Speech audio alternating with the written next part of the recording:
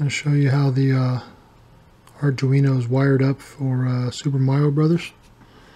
Um, basically, I have a, um, a, a resistor plugged into my pin 3, which is pulse width modulated.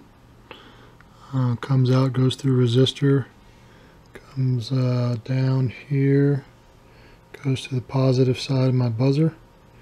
Then the negative comes here.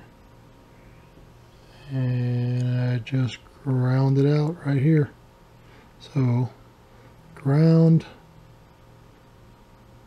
buzzer, positive, resistor, pin number three. It's as easy as that.